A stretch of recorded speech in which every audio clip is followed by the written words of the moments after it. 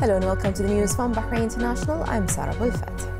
The Deputy Prime Minister and Ministerial Committee for Development and Infrastructure Projects Chairman Sheikh Khalid bin Abdullah Al Khalifa chaired the meeting of the Ministerial Committee for Development and Infrastructure Projects remotely. He said that Bahrain's positive and rapid economic growth during the prosperous reign of His Majesty King Hamad bin Isa Al Khalifa and with the support of His Royal Highness the Crown Prince and Prime Minister Prince Salman bin Hamad Al Khalifa have been accompanied by a strong drive to provide high standard infrastructure through strategic projects, especially in the electricity and water areas. He stated that the government's belief in the importance of electricity and water as important sources of energy and as the backbone of other services and other sectors have prompted it through the Electricity and Water Authority EWA to plan and implement quality projects worth more than $1.53 billion during the past decade. Electricity and Water Minister Wael bin Nasser al-Mubarak briefed the meeting on the project to develop develop the electricity and water networks. Sheikh Khalid thanked Al Mubarak and the Electricity and Water Authority CEO, Sheikh Nawaf bin Ibrahim Al Khalifa, and the personnel for their efforts to implement the government's program for 2019 to 2022 related to the development of electricity and water networks that would secure a supportive environment for sustainable development, enhance the readiness of energy and water infrastructure, and raise the efficiency and sustainability of services provided. Sheikh Khalid said that EWA projects seek aim to provide all regions of the kingdom with electricity to meet the current and future needs of the residential, investment, commercial, industrial and other sectors. The Deputy Premier said EWA has an average completion rate of 78% of implementing its projects within the current government program until May.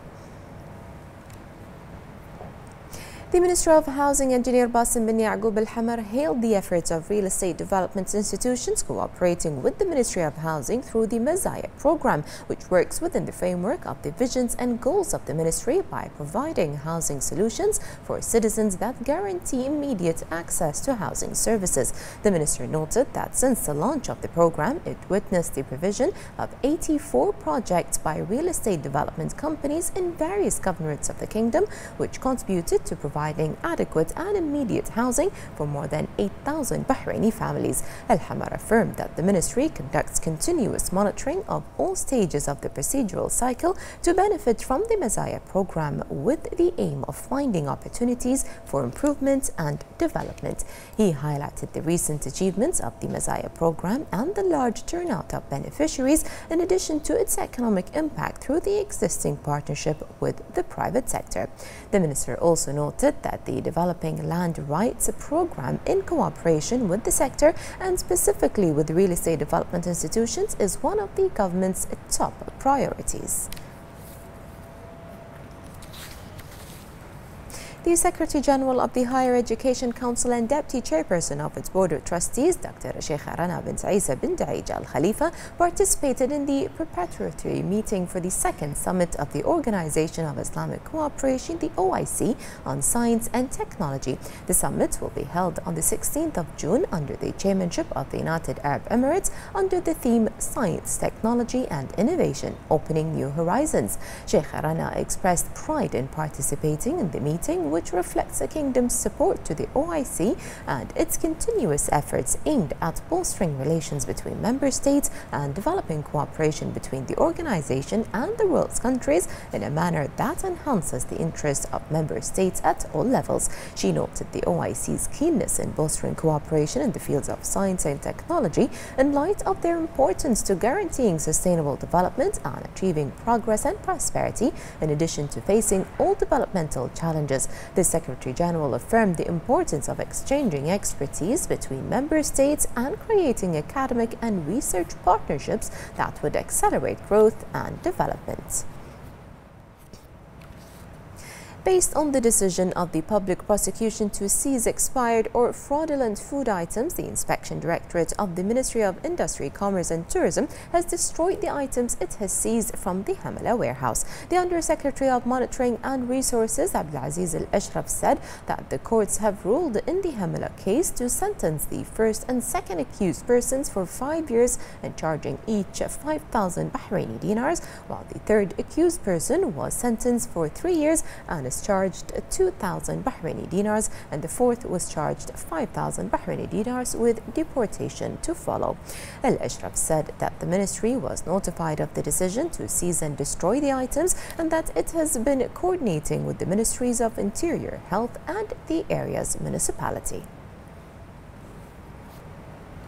The chairman of the Federation of the GCC Chambers of Commerce, Samir Nass, met with the chairman of the Federation of Iraqi Members and Chairman's Chambers of Commerce, Abdul Razak Zahiri, on the sidelines of the meetings of the Arab Chambers of Commerce. The meeting discussed the various ways in which commercial and economic relations with Iraq can be further enhanced.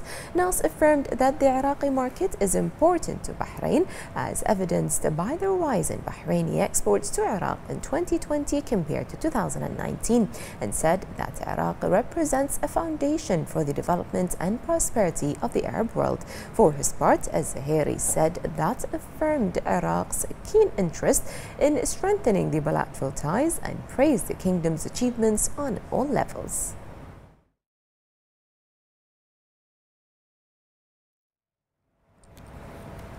The Ministry of Industry, Commerce and Tourism will join the international standardization bodies in celebrating the World Accreditation Day, which is observed on June the 9th every year. The event, which is celebrated this year under the theme Supporting the Implementation of the Sustainable Development Goals, the SDGs, aims to boost social awareness of the importance of accreditation and its remarkable role in achieving the SDGs. Marking the occasion, we are joined on the phone by Senior Standards Specialist at the Testing and Metrology Directorate at the Ministry of Industry, Commerce and Tourism, Engineer Esma Salman.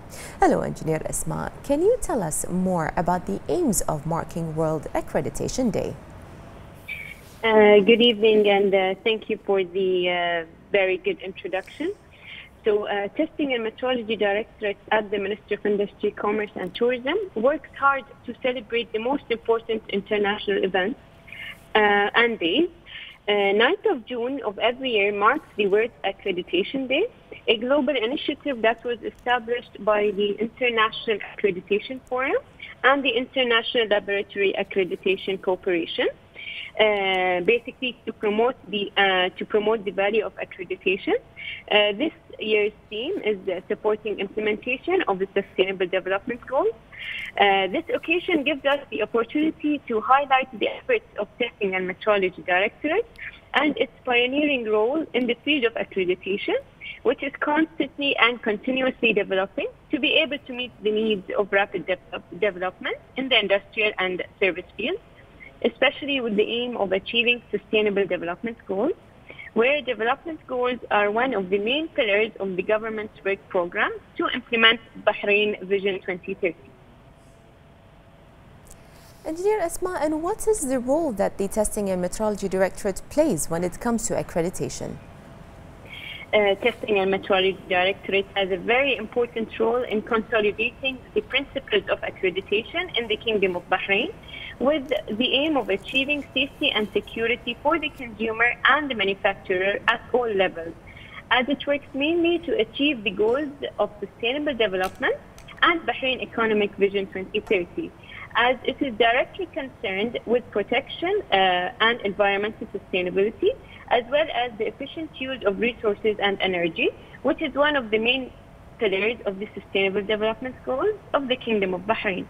In addition, the Directorate has circulated to all management system certification bodies about the importance of obtaining accreditation by the Gulf Accreditation Center in order to enhance the competence and value and value of certificates granted to clients on this occasion, the Directorate aims to spread awareness of the importance of going into the field of accreditation in order to reduce waste and losses resulting from the use of unsafe products or services.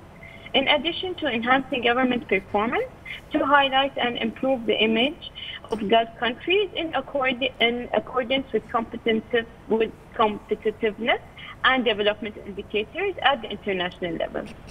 Mm -hmm. Thank you very much. And that was the Senior Standards Specialist at the Testing and Metrology Directorate at the Ministry of Industry, Commerce and Tourism Engineer Esma Selman. The national vaccination campaign continues to witness a wide turnout of citizens and residents. The Ministry of Health announced that 1,010,162 had taken the first dose of the vaccine, while 839,685 had taken the second. The ministry renewed its call for the community to commit to all precautionary measures and to take the initiative to register for the coronavirus vaccination. The Ministry of Health said today that the number of active coronavirus cases reached 19,238 with 2,367 recoveries, 1,279 registered new cases and 18 deaths. 551 of the new registered cases are expatriates, 727 are contacts of active cases and one is travel related. The ministry expresses its heartfelt condolences to the families of the deceased and urges everyone to comply with the guidelines issued by the National Task Force for combating the coronavirus.